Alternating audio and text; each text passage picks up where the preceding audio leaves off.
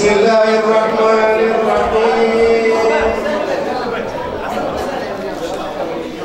اللهم صل على محمد وآل محمد. إلهي عظم البلاء.